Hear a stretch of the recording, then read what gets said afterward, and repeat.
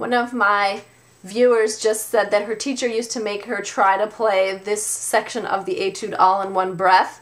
and I'm really tempted to try it and see if I can do it, so I'm gonna give it a try.